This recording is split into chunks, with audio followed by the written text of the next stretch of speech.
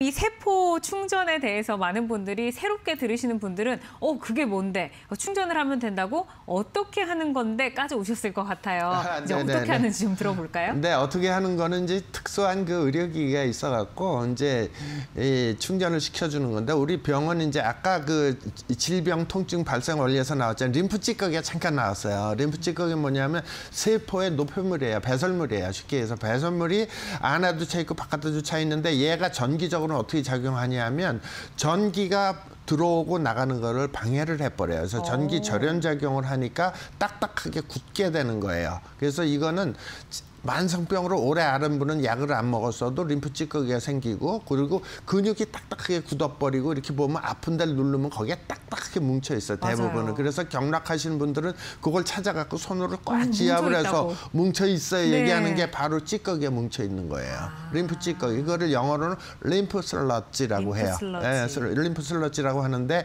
그것은 굉장히 찐득찐득한 워낙 림프는 굉장히 맑은 물로 졸졸졸졸 시냇물처럼 잘 흐르는 게 림프인데요. 림프 찌꺼기는 가래침같이 끈적끈적한데 시간이 지나면 돌처럼 변해요. 수분이 아. 딱딱하게 빠지면서 굳어버리네요. 딱딱하게 바위돌처럼 변해요. 그걸 그렇게 바위돌처럼 변한 거를 이 정형외과 의사들은 뭐냐면 석회성 건염이라고 표현을 해요. 아. 그래서 굉장히 오래된 거예요. 석회화되는 거. 네. 그리고 불교에서는 사리가 생겼다고 해요.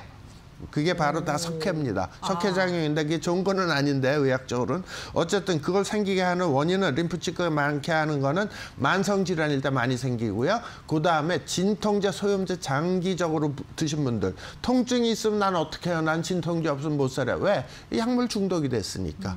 마약 중독하고 약물 중 진통제 중독하고 똑같고요.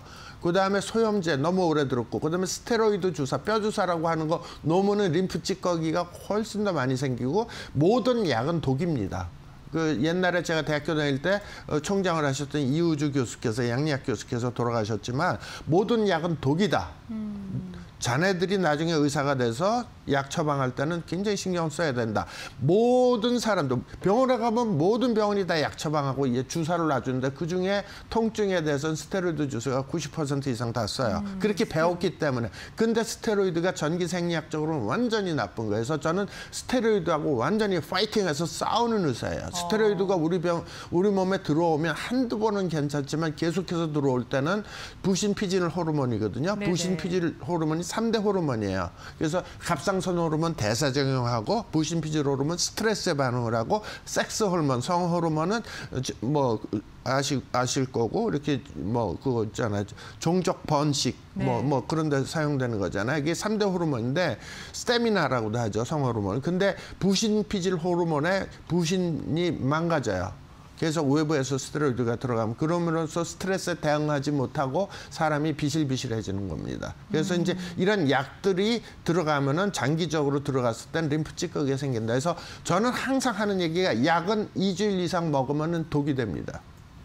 이주일 이상 드시지 마세요. 네. 단 예외가 있어요. 뭐가 있냐? 고혈압. 당뇨병 같이 대사적으로.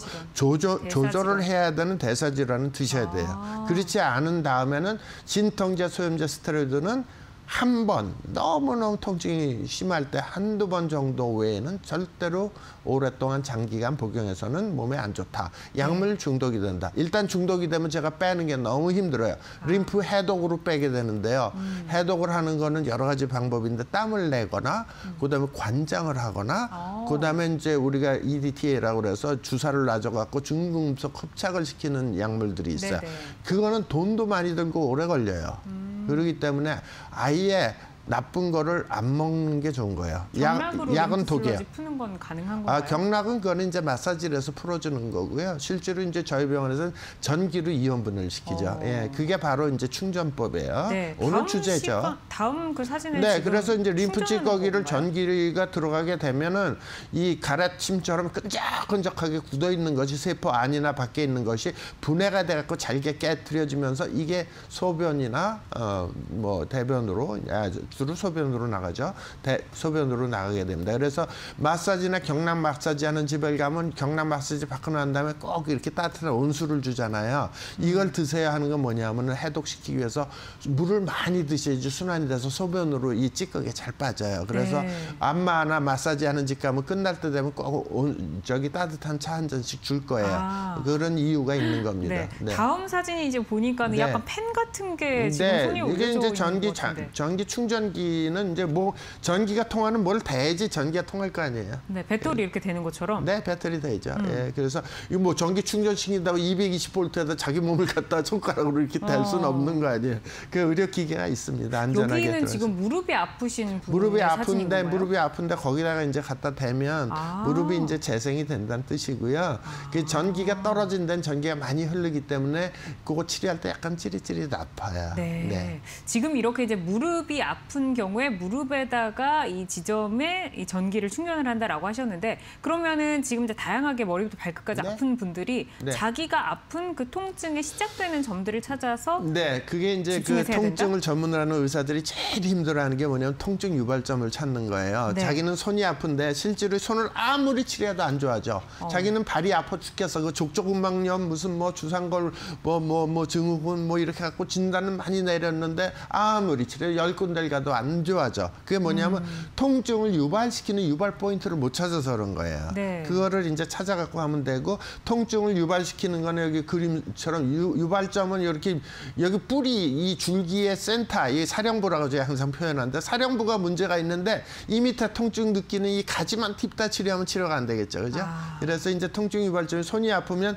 손을 치료하면 안 되고요 위에 통증 유발점을 찾아갖고 이제 치료를 해줘야 돼요. 어, 예. 다음으로는 우리 몸의 보면 통증 전체적인 유발점이 그럼 어디 있느냐? 네. 어디 있냐? 사령부가 어디 있느냐? 어딜까요? 사령부는 뇌하고 척추예요. 뇌하고 척추. 예, 그게 중추신경이에요. 아. 말초신경을 치료해서는 안 되고 중추신경을 치료해야 되는데 실제로 찾아보면 이렇게 빨간 점이 많은 것처럼 많아요. 근데 그거를 빨리 정확하게 급소를 찾아내는 게 의사의 실력이죠. 그건 경험이 치료가 필요해요. 좀 빨리 되겠네요. 아, 그러면 근본 치료가 되죠. 아, 네. 그러면은 이제 지금은 좀 일반적으로 통증 네. 치료에 어떤 방법들을 통증 좀 치료가 뭐 역사적으로 인류의 역사하고 같이 해왔어요. 그래서 제일 좋은 건 엄마의 손입니다. 따뜻한 사랑으로. 아. 그게 굉장히 의학적으로 전기 생명적 의미가 있는 게 뭐냐면 엄마의 전기를 자기 아들한테 딸한테 주는 거예요. 손을 희생 대면. 정신이네요. 어, 네, 네, 네. 이렇게 하면 사람이 저 지하실 같은 데 사람이 왔다 갔다 하면 곰팡이 쓸잖아요. 근데 네. 거기 사람이 꽉 찼으면 곰팡이 안 쓸어요. 아 우리 정말요? 어 그러면 냄새 안 나요 별로 사람에서 나오는 전자기가 대단한 거거든요 네. 그게 모이면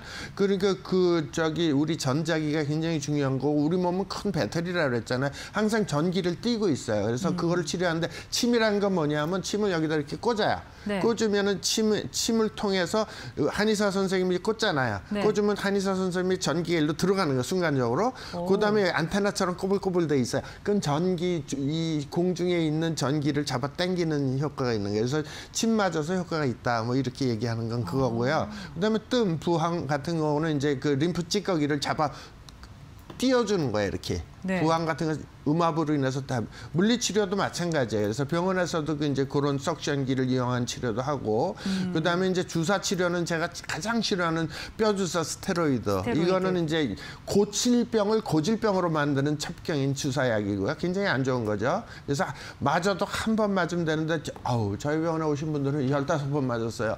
A 병원 가서 두 번 맞고요. B 병원 가서 세 번 맞고요. D- 완전히 스테로이드로 해서 거기에 다 위축이 돼 갖고 피부가 꺼 멓게 죽어 있고 아이고. 염증이 생겨서 오신 분도 있고요. 그다음에 약 약을 다 무조건 환자가 오면 다 약 처방을 해야 되는 줄 알고 그렇게 교육을 받았으니까 의사들이 진통제 근위 환자 그래갖고 할머니들 보면 여기저기 아프다 그러면은 그냥 뭐 사발컵으로 하나 약 이만큼씩 아, 드시잖아요. 그럼요. 그러면 돌아가실 때 보면 그 약이 산더미처럼 쌓여 있어요. 그 얼마나 음. 자원 낭비예요.